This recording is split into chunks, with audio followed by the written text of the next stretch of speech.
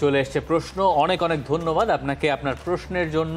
আজকে অনেক কিছু আছে আর্জেন্টিনা কেন্দ্রিক প্রশ্ন আছে এই ইন্টারন্যাশনাল ব্রেকে আচ্ছা আমাদের দেশে ইন্টারন্যাশনাল ব্রেকের সময় লোকজনের আগ্রহ আরও একটু বেশি থাকে।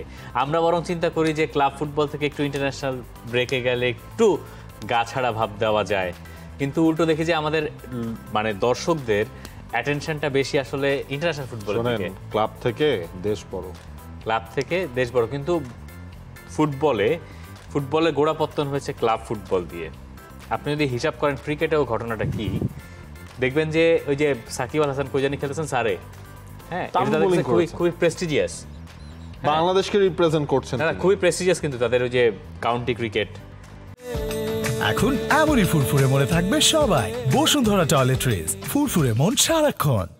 যেসব দেশে খেলা খুব বেশি পপুলার সেখানে দেখবেন যে লোকাল একে এই এলাকার ওই এলাকার টিমের ভেতরে রেশারেশি বেশি কিন্তু আমাদের দেশে ভিন্ন বা এই সাবকন্টিনেন্টে ভিন্ন। ইন্ডিয়া পাকিস্তান এটার পিছনে একটা কারণ আছে। এর পিছনে কারণ আছে। কারণ সব এক ছিল তো। এটা যখন ভাগ হয়েছে এরপর দেশে দেশে রেশারেশি দিয়ে বড় কারণ আছে শোনেন। ওয়ার্ল্ড কাপ মানে জাতীয় টিমগুলোর খেলার হচ্ছে গিয়ে যখন ওয়ার্ল্ড কাপ হয় যখন ইউরো হয় তখন কিন্তু দেখবেন হচ্ছে প্রচুর মানুষ হচ্ছে গিয়ে ওইটা দেখেই। মাস্ট আর লিগের খেলা তো সব সময় হয়। ধরেন ওইটা হচ্ছে রেগুলার ফলোয়ার ছাড়া। না এটা বলতেছে। এক্স্যাক্টলি সবাই আসলে সেই খোঁজ খবরটাও রাখে না। এটাই স্বাভাবিক। কারণ বিশ্বকাপের খেলা তো আলাদা হিসাব লিগের সাথে আপনি প্রত্যেকদিন ভাত খান আর মাঝে মাঝে ফ্রাইড রাইস খান। তো ফ্রাইড কেন, রাইসের পোলাও কাচ্চি কাচ্চি খেতে পারি না আমি? এ ফ্রাইড রাইস কাচ্চি পোলাও এগুলো তো ভাতের? বাইরে। কাচ্চি নাকি? আজকে ভাই, কি বার? মঙ্গলবার। আজকে না আজকে আজকে নেই আজকে আহ, প্রচুর প্রশ্ন যেটা রয়েছে। আর্জেন্টিনা ব্রাজিল রিলেটেড সেটা একটা দিয়ে শুরু করি কারণ আমরা এটা করলে মাঝে মাঝে আমরা আপনাদের গালিও খাই। সুতরাং সেটা দিয়ে আসলে করি। এমডি রোহন তিনি প্রশ্ন করছেন আর্জেন্টিনা এবং ব্রাজিল দুই ম্যাচের প্রেডিকশন দেন। আর্জেন্টিনা ব্রাজিল দুই ম্যাচের প্রেডিকশন দেবো। আর্জেন্টিনা জিততে পারবে না ব্রাজিল জিতবে। এখন আমাকে বলবে কি জানেন? আর্জেন্টিনা এবারটা তো ব্রাজিল করে। আর্জেন্টিনা এক কলম্বিয়া শূন্য। হ্যাঁ। ব্রাজিল তিন প্যারাগুয়ে শূন্য। ব্রাজিল তিন শূন্যগুলো যদি প্যারাগুয়েকে হারাইতে পারে। কি খাওয়াবে? যদি হারাইতে পারে তিন শূন্যগুলো প্যারাগুয়ের প্যারাগুয়ের মাঠে গিয়ে হারাবে। তাহলে কি হবে জানেন? পরের দিন সকালে আপনি দেখবেন যে আপনার ফেসবুকে যে হোম পেজ আছে এনে মোটামুটি ব্রাজিল বিশ্বকাপ এটা জিতে পারবে না অলরেডি হচ্ছে আপনার এই টাইপের প্রচুর প্রশ্ন রয়েছে যে ডরিবালের কথা ব্রাজিলের এখন আমার মনে হয় না তিন শূন্য গোলে ব্রাজিলের জেতাটা খুব কঠিন হয়ে যেতে পারে। আপাতত ওই বড় স্কোর লাইনের দিকে নজর দেওয়ার চেয়ে ব্রাজিলের আসলে উচিত মানে জিততে হবে এই ইয়াটা রাখা। আপনি বলছেন আর্জেন্টিনা হারবে ব্রাজিল জিতবে। হারবে বলি নাই। জিততে পারবে না। মানে draw হিসাব হবে? হচ্ছে কলম্বিয়া আর আর্জেন্টিনা ড্র হবে আর ওর পাশে ব্রাজিল জেতার কথা। ওকে আচ্ছা এবার আসেন দিবালা আমাদের সবার পছন্দের ফুটবলার। দিবালাকে নিয়ে প্রশ্ন আছে সেটা হচ্ছে যে শাফি খান বলছেন যে আজকের ম্যাচে দিবালাকে শুরু থেকে রাখা হবে কিনা? রাখা হবে কিনা নাকি সাব? আচ্ছা দিবালাকে যদি স্টার্ট করানো হয় সেই দাবিটা তো তিনি জানিয়ে রেখেছেন এবং দিবালা এই সুযোগটা বোধহয় কোথাও ডিজার্ভও করেন কিছু কিছু ক্ষেত্রে। দিবালা তো আসলে মেসি থাকলে স্টার্টিং ইলেভেনে খেলতে পারেন না, কারণ দুজনের পজিশন মিলে যায়, এই সেই অঙ্ক মেলে না, সবার অঙ্ক মিললেও দিবালার অঙ্ক মেলে না আর্জেন্টিনা জাতীয় দলে। তো সেই হিসাব থেকে এখন সেই সুযোগটা আছে, দিবালা যেহেতু আগের ম্যাচে গোলও করেছেন, তাকে স্টার্ট করিয়ে দেওয়ার। এবং আমি পার্সোনালি খুবই হ্যাপি হব যদি দিবালাকে স্টার্ট করানো যায়। এখন দেখা যাক স্কালনি আসলে সেটা করেন কিনা। আবার আবার। ধরেন হচ্ছে যেটা আমরা মেইন শোতেও বলছিলাম যে দিবালাকে যদি স্টার্ট করে আমার মনে হয় লাউতরো অথবা আলভারেজ একজনকে বসিয়ে দেওয়া হবে বসিয়ে দেওয়ার সম্ভাবনা একটা আছে। যদি আবার ওদিক দিয়ে ফোরম্যান ব্যাকলাইনে যদি স্কালনি যদি শিফট করেন। হ্যাঁ তখন চারটা মিডফিল্ডারে চলে যাবে চলে যাবে দিবালা সেকেন্ড স্ট্রাইকারের জায়গায়। হ্যাঁ সেরকমটা একটা হতে পারে। হলেও হতে পারে। হলেও একটা হতে পারে এবং সেই দিকে আমার মনে হয় আজকে আর্জেন্টিনার ফোর ফোর টুতে যাওয়ার একটা ভালো সম্ভাবনা আছে। কলম্বিয়ার কথা চিন্তা করে। ট্রু এখন বলতে পারছি না কিন্তু আমার মনে হয় যে পাউলো দিবালা হয়তো স্টার্টিং ইলেভেন থাকবেন না আমার হিসাব নিকাশে যা বলে। উল্টো গার্নাচোকে স্টার্টিং ইলেভেনে রাখার সম্ভাবনা নাকি বেশি যা শোনা যাচ্ছে। হয় গার্নাচো নইলে নিকো গঞ্জালেজ একজন নাকি স্টার্ট করবেন। এখন নিকো গঞ্জালেজ হয়তো স্টার্ট করে দেবেন। যদি ইঞ্জুরি কনসার্নটা যদি কেটে যায় একেবারে। আচ্ছা ফরওয়ার্ড লাইন নিয়ে যেহেতু কথা হচ্ছিল আহমেদ মাসুম চৌধুরী তার প্রশ্ন আর্জেন্টিনার ফরওয়ার্ড লাইন নাকি ব্রাজিলের ফরওয়ার্ড লাইন কোনটাকে আপনারা এখন এগিয়ে রাখবেন? এখন এগিয়ে রাখতে হলে তো ভাই আর্জেন্টিনা মানে ওয়ার্ল্ড কাপ চ্যাম্পিয়ন তো হিসাবে আর্জেন্টিনাকে এগিয়ে রাখতে হবে। কিন্তু ধরেন হচ্ছে যদি আপনি ক্লাবের অবভিয়াসলি ন্যাশনাল টিমের পারফরমেন্স মেসি সহ না ছাড়া? এখনকার। এখনকার আর্জেন্টিনা হিসেব করলে তো হচ্ছে লিওনেল মেসি তো নাই। হ্যাঁ আজকের আর্জেন্টিনা নাই। ধরেন হচ্ছে কি আজকের আমরা দুটা করব হ্যাঁ? হ্যাঁ। একটা ধরেন ওভারঅল প্রেজেন্ট মানে হচ্ছে যারা ইনজুরিতে আছেন না যে দলে মেসি আছেন সেটা হচ্ছে আর্জেন্টিনার ফরওয়ার্ড লাইনে গিয়ে থাকবে। আচ্ছা আর আপনি যদি প্রেজেন্টটা হিসেব করেন তখন হয়তো মানে ব্রাজিলের দিকে আমার কিন্তু দিন শেষে দিন শেষে খেলাটা তো টিম গেম ধরেন রদ্রিগো ভিনিসিয়াস ভিনিসিয়াসের জাতীয় দলে ব্রাজিলের হয়ে আসলে কি পারফরমেন্স আছে? যেটা কারণে আমি ব্রাজিলের ফরওয়ার্ড লাইনকে এগিয়ে রাখব? ভিনিসিয়াসের নাই। ব্রাজিলের হয়ে তিনি পারফর্ম করতে পারছেন না। রড্রিগো লাস্ট ম্যাচে গোল করলেন। কিন্তু সেই তুলনায় আলভারেজ আর লাউতারোর মানে জয়েন্ট কম্বিনেশনটা আসলে জাতীয় দলে অবদান বেশি না? এই জায়গায় দেখেন এনরিক এনরিক যদি হচ্ছে গিয়ে আজকের ম্যাচেও স্টার্ট করেন হ্যাঁ ধরলাম। এনরিক ভিনিসিয়াস রড্রিগো আমার কাছে মনে হয় এই তিনটার ওই ক্লাব পারফরমেন্সের থ্রুতে বর্তমান ইয়েতে একটু এগিয়ে হ্যাঁ ক্লাবের পারফরমেন্স যদি আপনি ধরেন তাহলে ভিনিসিয়াসের একটা ই পাবেন। কিন্তু আমার মনে হয় এই ফরওয়ার্ড লাইন হিসাব করলেও আর্জেন্টিনাই এগিয়ে। লাউতারো মার্টিনেজ আজকের দিনেও এগিয়ে আলভারেজ থাকলেও এগিয়ে। কিন্তু আপনি যদি এখন বলেন যে এই দল এটার সাথে রোনালদো রোনালদিনিও ওইটা হলে তো অনেক মিলাইতে তখন তখন আমি আলাদা হিসাবে যাইতে হবে তখন আলোচনা আলাদা হিসাবে যেতে হবে। যাই হোক, আপনারা জানাতে পারেন এই ফাঁকে যে আপনারা আসলে কি ভাবেন এইগুলো নিয়ে। আচ্ছা সব কি আজকে ব্রাজিল আর আর্জেন্টিনার বাইরে আমরা যেতেই পারি নাই তাই না? আয় হায়। Nahuel Fahim Messi Di Maria বিহীন আর্জেন্টিনাকে কলম্বিয়ার বিপক্ষে জয় পেতে হলে কোন জায়গায় সতর্ক থাকতে হবে? সবচেয়ে বেশি সতর্ক থাকতে হবে গরমের দিকে। আমার মনে হয় একটা ফিজিক্যাল গেম হবে যেরকমটা আমরা কোপা আমেরিকার ফাইনালে দেখেছি। যেহেতু একটা ইন্টারন্যাশনাল ব্রেকে আর্জেন্টিনার প্লেয়াররা ইউরোপে খেলে কলম্বিয়ারও অনেক ফুটবলার ইউরোপে খেলে তারা ইউরোপ থেকে গেছেন আর্জেন্টিনায়। প্রথম ম্যাচ খেলেছেন তারপরে আবার গেছেন কলম্বিয়ায়, খেলবেন, আবার চলে আসবেন ইউরোপে, ফেরত আসবেন। একটা খুবই হেকটিক পরিস্থিতি। আমার মনে হয় ক্লান্তিটাই আজকের ম্যাচের একটা ডিফারেন্স মেকার হতে পারে। দেখেন, আমি বলব হচ্ছে হ্যাঁ সেটা তো আপনার ক্লান্তি তো আছে যে একটা পয়েন্ট বলছেন, আমি আরেকটা পয়েন্ট ফ্রেস করতে চাই, সেটা হচ্ছে ফিজিক্যাল দিক থেকে কলম্বিয়ান ফুটবলাররা কিন্তু আর্জেন্টিনার থেকে একটু লম্বা। আমি কোনটা বলছি? কলম্বিয়ার ফরওয়ার্ড লাইন এবং আর্জেন্টিনার ডিফেন্ডিং লাইন যদি আপনি হিসেব করেন। ওই ঘুরে ফিরে আর্জেন্টিনা কীভাবে কলম্বিয়ার ওই সেট পিসগুলো ট্যাকেল করবে কর্নার ফ্রিকিকগুলো কারণ সেখান থেকে দেখবেন হেডে গোল দিয়ে দিবে। মানে মানে ওইটাই আলটিমেটলি আর্জেন্টিনার একটা বড় চ্যালেঞ্জ হতে পারে এই ম্যাচে মানে কোপা আমেরিকার প্রিভিউতে আমরা যা যা বলেছি সেটা এখনও সেটা। এখনও আছে। আপনি লাস্ট ম্যাচেও দেখেন সেটা আছে। ঠিক আছে ঠিক আছে ওকে ফাইন ওকে ফাইন পরের প্রশ্ন এম কে আজাইরা ব্লগস তিনি তিনি জানতে চাইছেন যে আগের দিন শুধু মেসি ড্রিবল নিয়ে কথা বললেন আপনারা। রোনালদিনিও ও নেইমারের ড্রিবলিং কি দেখেন নাই? আগের দিন মেসির ড্রিবলিং নিয়ে কথা বলার পরে আমার কাছে মনে হয়েছে যে আমরা একটা মেজর পয়েন্ট মিস করে গেছি এবং মেজর পয়েন্ট যেটা মিস করে গেছি সেটা হচ্ছে নেইমারের নামটা না নেওয়া। নেইমার তার সময়ের অন্যতম সেরা ড্রিবলার এবং নেইমার মেসির ড্রিবলিং এর তুলনায় হয়তো ড্রিবলিং যদি করতে দেন দুজনকে কারোটাই কম মনে হবে না। দুজনের সমানই মনে হইতে পারে কোনো কোনো দিক থেকে। কিন্তু মেসির সাকসেস রেট হয়তো বেটার নেইমারের তুলনায়। না আবার মানে নেইমারের ড্রিবলিং দেখতেও ভালো লাগে। আমরা মেসিও কোথাও একটা বলেছিলেন যে নেইমারের ড্রিবলিং বোধহয় সেরা এরকম কিছু একটা মনে করতে পারছি না সত্যি কিনা। আর রোনালদিনিওর ড্রিবলিং এর তুলনায় রোনালদিনিওর হচ্ছে র ব্যাপারটা মানুষকে বেশি আকর্ষণ করে। রোনালদিনিও যে ভেতরে যে র ব্যাপারটা আছে বল আসবে সেটা করবেন, সেটা একটু কারিগরি করবেন। ঠিক আছে বডিতে একটা ডান্স মুভ থাকবে একটা ঘুরান্টি দিবেন। হ্যাঁ এইটা এইটার হিসাব আলাদা। আচ্ছা ব্রাজিল আর্জেন্টিনা রিলেটেড কি প্রশ্ন আছে আরও? আবার জিগায়। তাহলে করেন আমি হক আপনার কি আপনারা কি মনে করেন কনমেবল বিশ্বকাপ বাছাই যেই ধরনের ফরম্যাট এবং ব্র্যাকেটে লিখেছেন এবং অংশগ্রহণকারী অর্ধেকের বেশি দলের উত্তীর্ণ হওয়ার নিশ্চয়তা আছে? তার মানে দশ দলের ছটা তো ডিরেক্ট যাচ্ছেই আর সাত নম্বর দল প্লে অফ খেলছে। সেইখানে ফলাফলের চেয়ে দৃষ্টিনন্দন খেলা বেশি বিবেচ্য হয়। না দিন শেষে তো ফলাফলটাই বিবেচ্য হয়। কারণ ধরেন হচ্ছে গিয়ে আপনি ব্রাজিলের ক্ষেত্রেই আসেন। সেটা ব্রাজিল আর্জেন্টিনার ক্ষেত্রে না সবার ক্ষেত্রেই। সবার ক্ষেত্রে Result-ই আসল। মানে রেজাল্টটাই আসলে আসল। আর দৃষ্টিনন্দন ফুটবল এটা ম্যাটার করে না। আপনি যতদিন রেজাল্ট আনতে থাকেন ততদিন মানে রেজাল্ট ভালো হলে তখনই দেখবেন ওই পয়েন্টগুলো আসবে। কি সুন্দর হ্যাঁ, ওদের হ্যাঁ। সেট আপটা ছিল কি সুন্দর বলগুলো সাপ্লাই হয়েছে ইন্ডিভিজুয়াল স্কিল হয়েছে রেজাল্ট খারাপ। হলে আসলে লাভ নাই। ওই যে তখন ওই কথাটাই আসলে আলটিমেটলি চলে আসে ও একা কি করবে ও একা ইন্ডিভিজুয়াল স্কিল দিয়ে কি করতে পারবে। আছে না যে অনেক পড়াশোনা করে রেজাল্ট তো খারাপ হয়। তাই না? ভুলে যায়। হয়তো।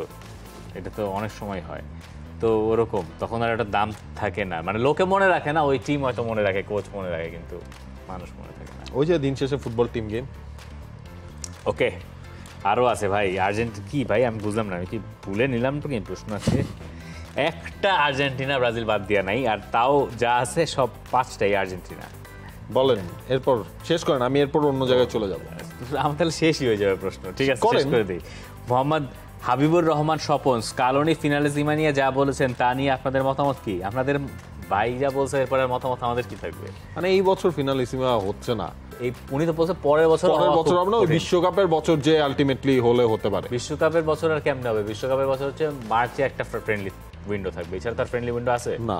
ধরেন হচ্ছে কি হবে জানেন? না মার্চে নতুন একটা ফরম্যাট আসছে নাকি জানুয়ারিতে?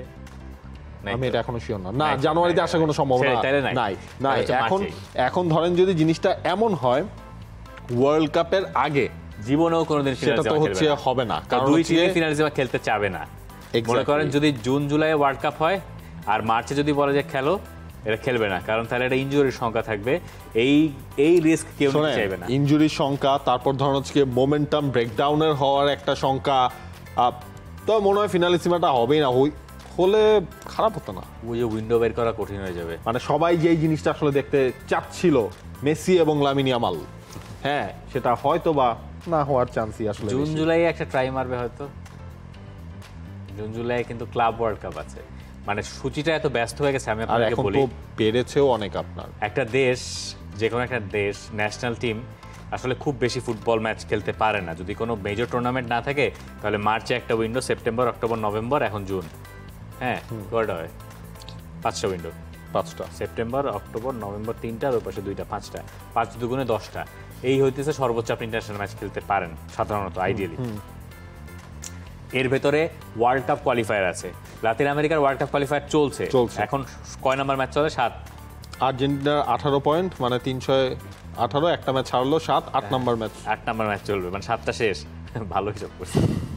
তারপরে তারপরে ইউরোপে এখনও শুরুই হয় নাই। ইউরোপের কোয়ালিফায়ার যথেষ্ট বড়। নেশনস লিগ শেষ হবে কোয়ালিফায়ার শেষ হবে, এরপরে গিয়ে দু হাজার ছাব্বিশে ওয়ার্ল্ড কাপ বেশি দিন তো ওই হিসাব করলে নাই।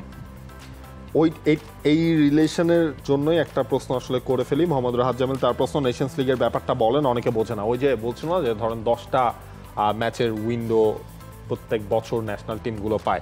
তো এগুলো ফ্রেন্ডলি না খেলে এটাকে একটা কম্পিটিশনের আওতায় নিয়ে আসা নিজেদের মধ্যে ওই কম্পিটিটিভ মুডটা বাড়ানো। ধরেন হচ্ছে যে নেশনস লিগে তো মানে group A group B group C যেটাকে আমরা ধরেন হচ্ছে গিয়ে ওই হিসেব করলে যে অলমোস্ট ইকুইভ্যালেন্ট দলগুলো হচ্ছে গিয়ে দলগুলোর সাথে খেলে রাইট সেই মানে- জিনিসটা হলে তো একটা সুবিধা আছে।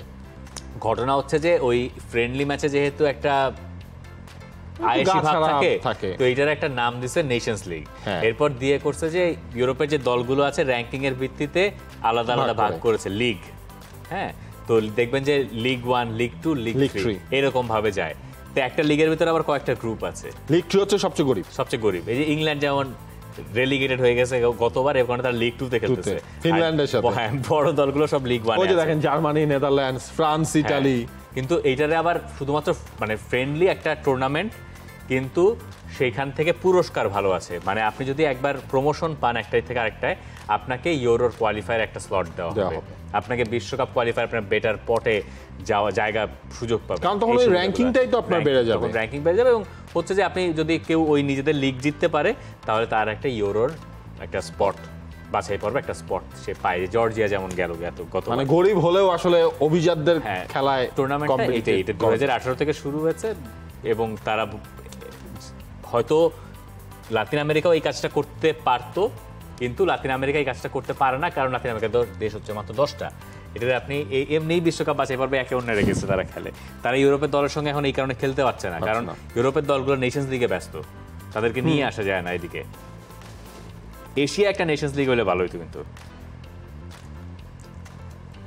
হ্যাঁ তাহলে বাংলাদেশ যাইতো জাপানে খেলতে না আপনি ও তখন লিগে এত পড়তো বাংলাদেশ ম্যাকাওর সাথে মানে না বাংলাদেশ ধরেন হচ্ছে কি ওই নেশনস লিগের মতো করলে বাংলাদেশ তো থাকতো হচ্ছে ওই টপ লিগ ফোরে লিগ ফোর হ্যাঁ লিগ ফোর এক্স্যাক্টলি সেই লিগ ফোরে হচ্ছে কি ওই আসেন এবার বাংলাদেশে আসি।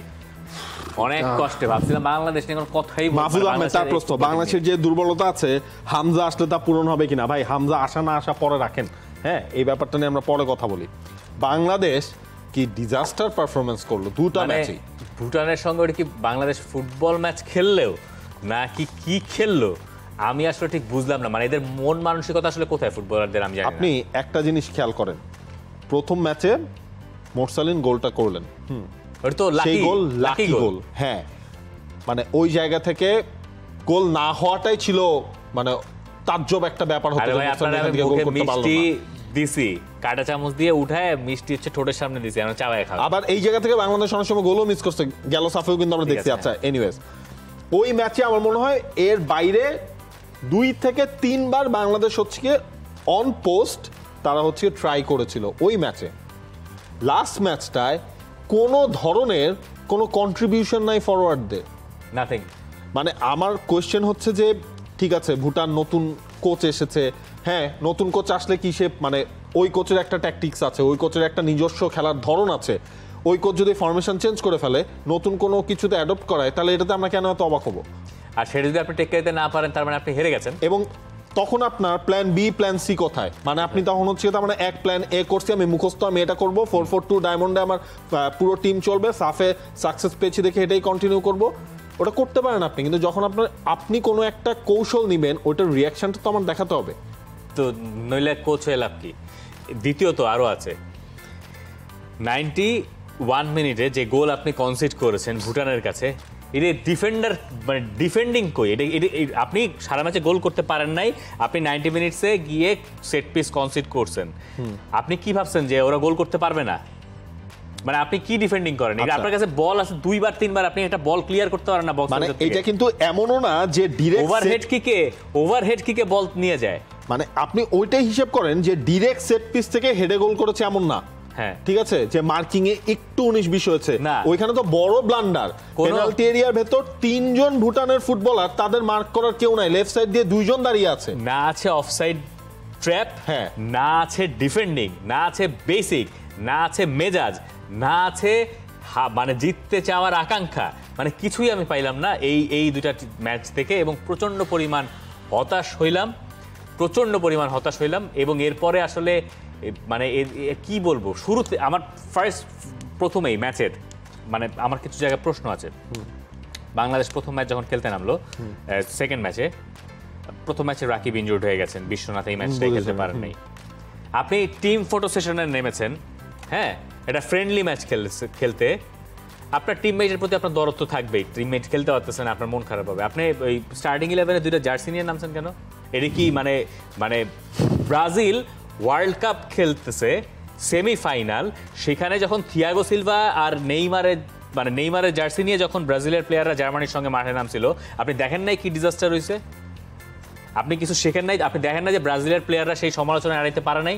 এগুলো অ্যালাউ করে কে? মানে আপনি নামছেন একটা ফ্রেন্ডলি ম্যাচ খেলতে এটা অ্যালাউ করে কোশ্চেনটা তো হচ্ছে ওটাই। ফ্রেন্ডলি ম্যাচে তো আমার আর ওই দুইজনের অবস্থা এমনও সিরিয়াস না যে তারা হসপিটালে অ্যাডমিটেড তাদের হচ্ছে গিয়ে মানে আল্লাহ না করুক হ্যাঁ? মানে ওই জায়গাটায় এমনও কোনো সিরিয়াস কোনো অবস্থানে নাই যে আপনারা হচ্ছে গিয়ে তাদের জন্য এই ম্যাচটা ডেডিকেট করবেন ম্যাচ শেষে বলবেন এই ম্যাচ হচ্ছে গিয়ে জয়টা আমার রাকিব এবং বিশ্বনাথের জন্য। মানে এই ধরনের এই জিনিসটা বের হতে হবে। মানে যতই ফ্রেন্ডলি হোক যাই হোক এখানে ওই চাইল্ডিশ অ্যাটিটিউড বা জায়গা নাই। অ্যাডিশনাল টাইমে গোল হজম করার সে বদ অভ্যাস তারা এড়াইতে পারল না। আচ্ছা ঠিক আছে আপনি গোল করতে পারতেছেন না আপনি গোললেস ঠিক আছে আপনি দুইটা ম্যাচ আপনি হচ্ছে ই করবেন। কি বলে এটাকে? বা পরীক্ষা নিরীক্ষাই করবেন। প্রথম ম্যাচ জিতছেন ঠিক আছে এই ম্যাচে গোল করতে পারতেছি না ছেড়ে দিলাম। আমি আমার তরুণ ফুটবলারদের বাজিয়ে দেখছি আমি চেঞ্জ করতেছি আমি নামাচ্ছি মিরাজকে রাহুলকে রাহুল ফার্স্ট ম্যাচে ভালোই করেছেন আমার মনে হয়েছে। এইটা ঠিক আছে আমি এই উইন্ডোটা আমি সুযোগই দেবো। তো সেই সুযোগ যখন আপনি দেবেন ডিফেন্ডিং তো ঠিকঠাক করতে হবে ভাই। মানে আপনার আপনি বলেন যে আপনি যখন অস্ট্রেলিয়ার সঙ্গে খেলেন তখন আপনি ডিফেন্ডিং পারেন না কারণ হচ্ছে সেট পিস ডিফেন্ডিং আপনার সমস্যা হয় কারণ এরা আমাদের থেকে তাল গাছ। ঠিক আছে? আমাদের এমনি তাকাইতে হয়। তা আপনি ভুটান তো আমাদের দিকে এমনি তাকায় তো তখন আপনি পারেন না কেন? ডিফেন্ডিং করতে? আবার মানে আপনি ওইখানেও পারেন না আপনি এইখানেও পারেন তার আপনি পারেন কি? আরও একটা জিনিস কি করা উচিত জানেন? মানে টিম সিলেকশনের প্রসেসটা আমার মনে হয় আরেকটু নতুন করে ভাবা উচিত। প্লেয়ার সিলেকশন হ্যাঁ এটা নতুন করে আসলেই ভাবা উচিত। এই যে আমি কাকে সিলেক্ট করব কি মানে কাকে? মানে এক হচ্ছে হ্যাঁ এখন কিন্তু অনেকটা কমেছে যে ক্লাবে ধরেন পুরো সিজন কেউ খেলে না তাকে হচ্ছে দলে নিয়ে নেওয়া হয়। সেটা কমেছে ফাইন কিন্তু এরপরও বেটার পারফরমেন্স করা অনেক প্লেয়ারকে সাবস্টিটিউট হিসেবে মানে ডাগ আউটে বসিয়ে রাখা হয়। হ্যাঁ ওইটার কমপ্লিট ফ্রিডমটা কোচের আছে বাট একজন যদি বারবার ওই জায়গায় হচ্ছে গিয়ে ওই ক্রাইটেরিয়াটা ফিল আপ করতে না পারে তখন হচ্ছে আপনি তাকে আর কত সুযোগ দিবেন দেখেন নাবিল ভাই এই যে বললেন না যে কোচের ফ্রিডম আছে কোচের হান্ড্রেড পার্সেন্ট ফ্রিডম হ্যাঁ। আছে কিন্তু কোচের ফ্রিডমটাই প্রশ্নবিদ্ধ হবে যখন সে রেজাল্ট আনতে পারবে পারবে না। আপনি যখন আপনি যা খুশি আপনি দল থেকে আপনার দলের সবাইরে বাদ দিয়ে আপনি যারে খুশি তারে খেলেন। হ্যাঁ। আপনি রেজাল্ট আনেন আপনার কেউ প্রশ্ন করতে ওই যে দেখেন সাফের মধ্যে বাংলাদেশ টিপিক্যাল নাম্বার নাইন ছাড়া খেললো। হ্যাঁ, কিন্তু সাকসেস এসেছে সবাই হচ্ছে। ওটাকে অ্যাপ্রিসিয়েট কিন্তু আপনি যখন ওই একই কাজ করবেন মানে ওটা চালাবেন কিন্তু আপনি রেজাল্ট আনতে পারবেন না তখন এগুলো প্রশ্ন হবে. তখন এই জিনিসগুলোই তখন উঠবে যে তাহলে এ কেন খেলে না সে কেন খেলে না? এইগুলো প্রশ্ন থামানোর একমাত্র উপায় হচ্ছে রেজাল্ট এবং মানে আরও একটা জিনিস করা উচিত সেটা হচ্ছে গিয়ে এক সময় বাংলাদেশ এক সময় মিন্স লাস্ট এক দুই তিন বছর আগেও আমি বলব বাংলাদেশ লং বলে বেশ ভালো ছিল। বাংলাদেশ সেই জিনিসটা একদম হারিয়ে ফেলেছে। এখন লং বল দিলে মানে কে কার জন্য কি দিচ্ছে কে কই পাঠাচ্ছে কোনো ঠিক ঠিকানা নাই। প্রচুর মিসপাস আমার মনে হয় এইগুলা নিয়ে আসলেই মানে ফুটবল নিয়ে আমরাই কথা বলি, আমরাই আপনাদেরকে আশা দেখাই, কারণ আশা দেখানোর আসলে ঘটনাগুলোও ঘটে।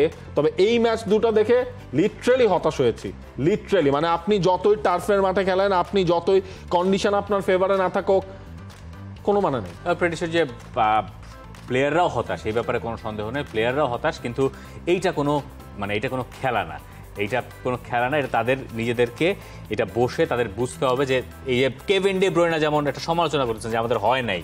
হ্যাঁ আপনি একটা বাংলাদেশ টিমের একটা একজনের কাছ থেকে এটা শুনছেন যে আমরা পারি নাই আমরা এই কারণে পারি নাই আমাদের ভালো লাগতে ভালো হয় নাই খেলা আমি আমরা দোষ স্বীকার করতেছি। একজনের কোনো ই আছে? দেখেন কোনো স্টেটমেন্ট আছে?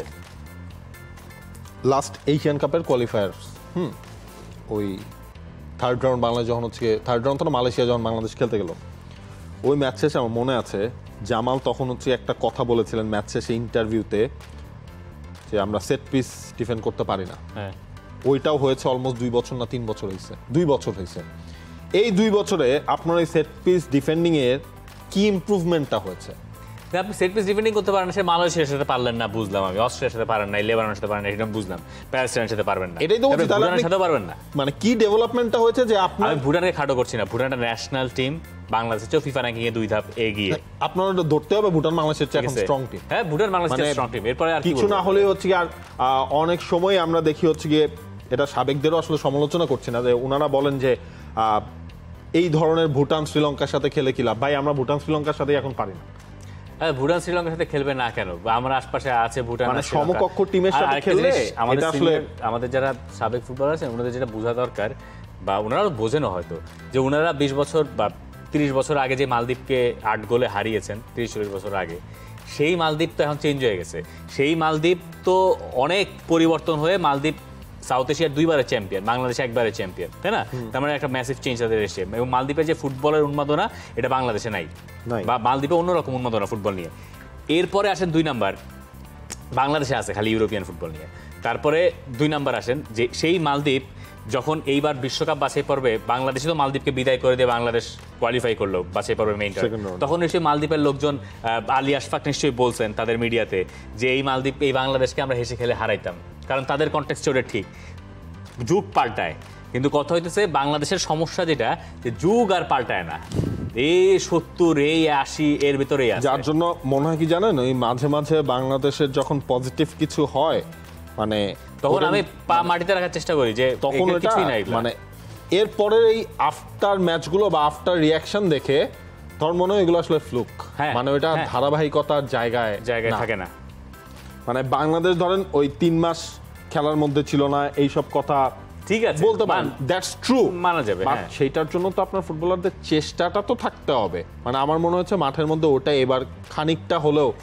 একটা ম্যাচ আপনি হারতেই পারেন। আমার তো কোনো সমস্যা কীভাবে নাই। আপনি হারতেছেন? আর তারপরে দুই ম্যাচ খেলছেন। আপনি প্রথম ম্যাচে জিতছেন তো লাকিলি আর প্রথম ম্যাচে কি গোলের কি অপরচুনিটি তৈরি করছেন আমার এছাড়া? এছাড়া আর তেমন কোনো গোলের চান্সই হয়নি। রাহুল একটা শট করল। আর হচ্ছে রাইট উইং থেকে কে জানি আরেকটা এফোর্ট করেছিল সেটাও হচ্ছে ইয়ে করেছে। এনিওয়েজ সরি আমরা একটু না সরি কি মানে এটা মানে তো এটা তো খুবই খুবই যৌক্তিক আলোচনা। হচ্ছে কি আমরা তুলে ধরেছি যে অনেকে হয়তো আশাহত হতে পারেন খুবই- খুবই- এটাই বাস্তবতার হামজা আসলে তা পূরণ হবে কিনা? হামজা আসলে সেটা হামজা আসলে যেটা হবে যে বাংলাদেশের ফুটবলার অন্তত পক্ষে কারও দিকে একটা মানে ওই যে ডিপেন্ডেন্সি জিনিসটা ডিপেন্ডস ধরেন থাকে না এরকম যে ভালো একজনের সহচার্যে থাকলে আপনি ভালো হওয়ার সুযোগ বেশি বাড়ে। আচ্ছা পরের প্রশ্ন। আমার কাছে শেষ প্রশ্ন। এই আলোচনার পরে এই প্রশ্নটা নেওয়ার মুডটা চলে গেছে। আবুল মনসুর মনসুর তিনি প্রশ্ন করেছেন মানে ওনার নামটাই এটা উনি লিখেছেন। দুই হাজার বাইশ বিশ্বকাপের ফাইনালে আর্জেন্টিনা কোচ কালোনি কতবার পানি পান করেছেন এবং কেন করেছেন? কেন পানি পান করেছেন এটা কি বলার দরকার আছে? পানি পান আপনি আমি পানি সবাই করে মানে-। আমরা ওই ফিল্টারের বোতল ধরে গ্যালন গ্যালন ধরে। আমরা যা আসলে জানি না যে কতবার পানি পান করেছে কারণ বেশিরভাগ ক্ষেত্রেই মাছটা দেখা যায় আসলে কোচ যে পানি খেতেছে এটা এইটা ধরেন পরে যখন হচ্ছে গিয়ে আমরা। আফটার মুভিগুলো হয় তখন হচ্ছে বিভিন্ন জায়গা থেকে পরে ফুটেজে দেখেছি পরে দেখেছি কিন্তু পানি পান করার ওই ফুটেজটা এটা যে কোনো ফুটবল কোচ প্রচুর পরিমাণ পানি পান করেন কারণ টেনশনে আপনার আমার তখন তো অন্য কিছু আর করার কোনো পুরো সুযোগ শেষ থাকে কথা না। কারণ প্রচণ্ড পানির পিপাসা পেয়েছে। আহ, সালমান আহমেদ সানি তার প্রশ্ন বাহফের সভাপতি পদে ভোট দেয় কারা? বাহফের ইলেকশন রয়েছে সামনে সভাপতি পদ নয় পুরো আসলে ওই এক্সকো এক্সিকিউটিভ বডিটা যারা সিলেক্ট করেন সেখানে হচ্ছে গিয়ে প্রত্যেকটা জেলা এবং বিভাগের আহ, সভাপতি মানে প্রত্যেকটা ডিএফএ থেকে ওই জায়গার মধ্যে আপনার হচ্ছে ভোটাধিকার রাইটস দেওয়া হয়।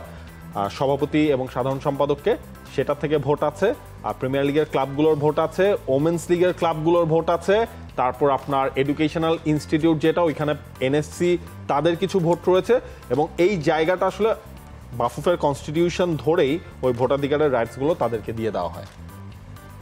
ধন্যবাদ প্রশ্নগুলোর জন্য এবং আজকে অনেক লম্বা অ্যাড টাইম হয়েছে। For more updates, subscribe to our YouTube channel and click on the bell icon. Follow us on Facebook and Instagram. Download T Sports app to enjoy exciting games and highlights. Visit tsports.com.